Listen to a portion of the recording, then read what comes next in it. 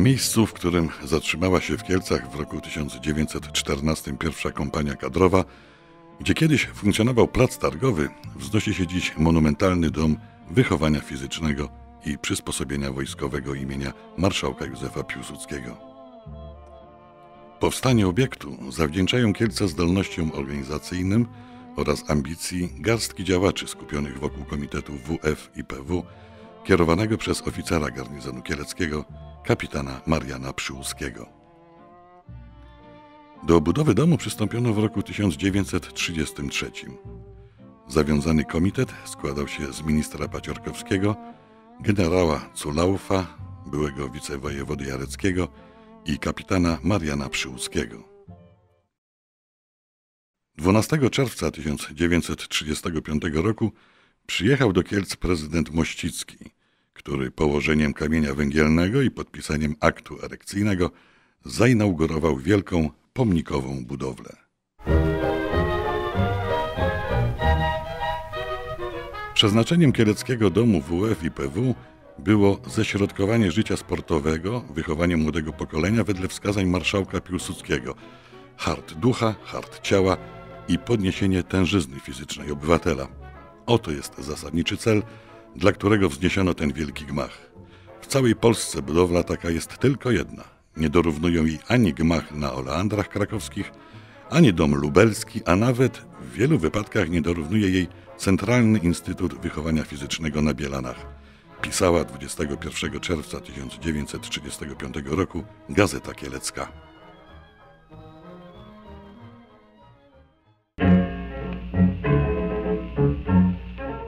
Warto przypomnieć, jak doszło do powstania tak wyjątkowego obiektu. W październiku 1921 roku marszałek Józef Piłsudski otrzymał jako pierwszy tytuł honorowego obywatela Kielc. Jeszcze w latach dwudziestych powstał w Kielcach Komitet Przysposobienia Wojskowego i Wychowania Fizycznego, który stanowił rodzaj cywilnego zaplecza armii i był mocno powiązany ze stacjonującym w mieście czwartym Pułkiem Piechoty Legionów. Powołano stowarzyszenie Dom Wychowania Fizycznego i Przysposobienia Wojskowego imienia Marszałka Piłsudskiego w Kielcach. Projekt gmachu zamówiono u architekta Edgara Aleksandra Norwerta, wybitnego architekta, urbanisty i teoretyka architektury epoki modernizmu, profesora Politechniki Warszawskiej, autora projektu Centralnego Instytutu Wychowania Fizycznego na Bielanach w Warszawie. Inwestycja była realizowana w błyskawicznym tempie. Już w lipcu w miejscowej prasie znajdujemy następującą informację. Budowa domu PW i WF w Kielcach, którego kamień węgielny został poświęcony w obecności pana prezydenta RP, prowadzona jest w szybkim tempie. Po ukończeniu robót ziemnych przy fundamentach przystąpiono do wznoszenia zrębów i ścian wewnętrznych. Wieloczłonowy gmach składa się z kilku różnej wielkości prostopadłościanów. Modernistyczna architektura budynku i starannie dopracowane detale wskazują na jego publiczny charakter. W przypadku omawianej budowli modernizm nie jest secesją, bo stanowi odejście od historyzmu. Poszukuje prostoty i funkcjonalności, napisał Jerzy Fijałkowski. W pamiętniku Koła Kielczan z 1936 roku czytamy m.in. Gmach jest kolosalnych rozmiarów. Zawiera szereg sal reprezentacyjnych, z których najpiękniejsze są konferencyjna, zwana też kominkową lub rycerską, balowa, znana też jako lustrzana i wielka sala teatralna. W czteropiętrowej części gmachu znalazły pomieszczenia liczne związki i stowarzyszenia kulturalne, społeczne, oświatowe, sportowe oraz komenda chorągwi harcerskiej.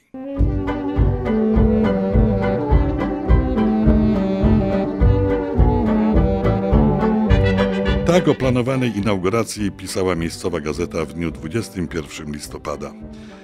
W dniu 22 o godzinie 8.15 rozpoczyna swą pracę kulturalną Nowy Teatr w Kielcach, który mieści się w gmachu PW i WF. Na otwarcie nowej sceny w naszym mieście wystawiona będzie sztuka w trzech aktach Dariusza Nieodemiego Cień pod reżyserią Zbigniewa Ziembińskiego. W okazałej sali teatralno-kinowej gościły największe sławy tamtych lat, między innymi Stanisława Korwin-Szymanowska z Henrykiem Sztąpką,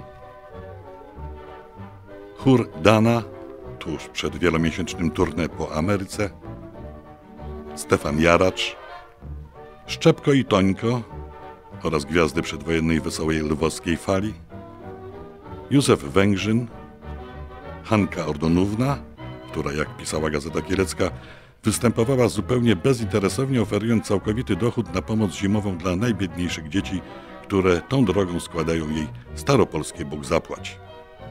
Występował również Adolf Dymsza. O pracy misyjnej wygłosił odczyt ojciec Maksymilian Kolbe ze Zgromadzenia Ojców Franciszkanów. Clue tej akademii było przemówienie alumna Japończyka, który przyjechał wraz z ojcem Kolbe. Alum przemawiał do zebranych po japońsku i po koreańsku, a przemówienie tłumaczono na polski. Japończyk odmówił również po japońsku i koreańsku Ojcze nasz i zdrowaś Mario. Przy wypełnionej po brzegi pięknej sali teatralnej wyświetlono obraz Pieśń jej matki z Martą Egger. Potem na ekran trafiały największe przeboje kinowe tamtych lat. Tuż przed wybuchem II wojny światowej wyświetlano antyfaszystowski propagandowy film Zeznanie szpiega, a 27 sierpnia na ekran trafił Włóczęga. Sala lustrzana, zwana też balową, została oddana do użytku 16 lutego 1936 roku. Powstał w niej klub społeczny. Otwarcia dokonano w obecności panów wojewody doktora Władysława Dziadosza, wicewojewody Bienieckiego i generała Culaufa.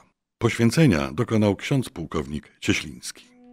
A potem bawiono się przy wielkich i mniejszych okazjach. To bal z 1937 roku.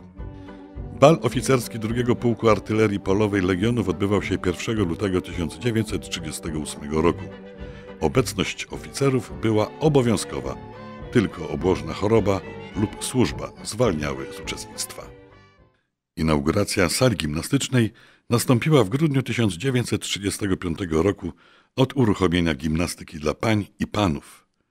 Zajęcia prowadzone będą przez fachowe siły instruktorskie, początek dla panów 7 grudnia, a dla pań 9 grudnia, napisała Gazeta Kielecka.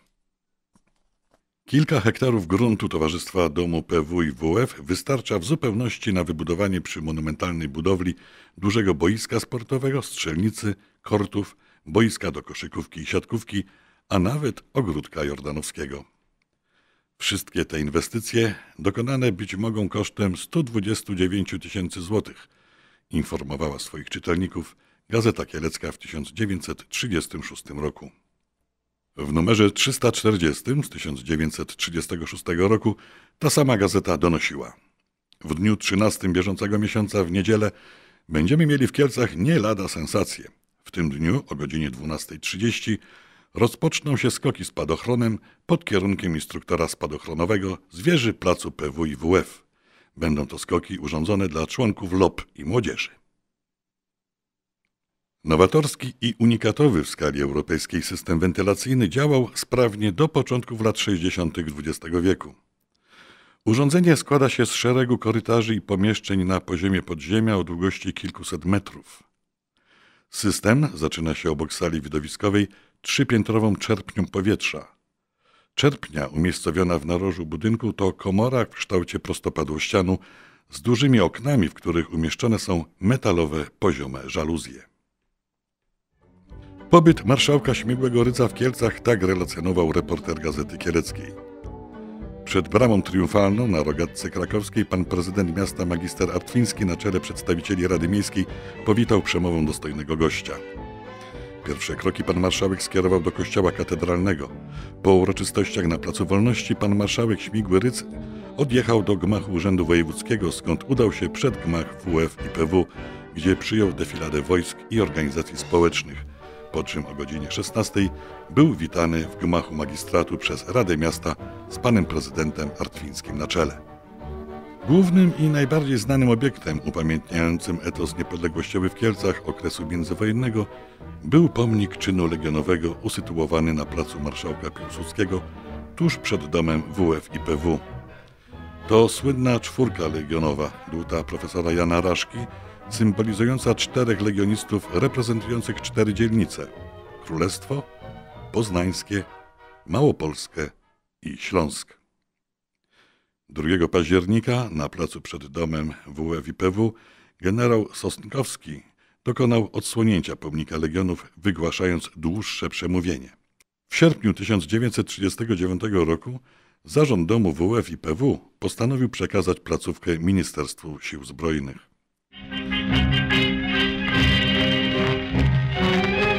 Budynku byłego domu WF i PW od września 1939 roku do końca wojny działała placówka tzw. Soldatenheimu, z której korzystały stacjonujące w Kielcach wojska Wehrmachtu. W końcowym okresie wojny, podczas odwrotu wojsk niemieckich, na krótki czas w pomieszczeniach budynku zorganizowano punkt szpitalny. Niemcy nie dokonali większych zniszczeń budynku. Był dla nich doskonałym i nowoczesnym miejscem wypoczynku. Przez cały czas działało kino, głównie jako narzędzie propagandy, kuchnia i stołówka w ramach kasyna. Zaraz po wyzwoleniu spod hitlerowskiej okupacji do budynku wprowadziły się różne agendy Urzędu Wojewódzkiego i Miejskiego, ale znalazło się w nim także miejsce dla świetlicy miejskiej, której w niedługim czasie nadano nieco pompatyczną nazwę Dom Kultury i Sztuki.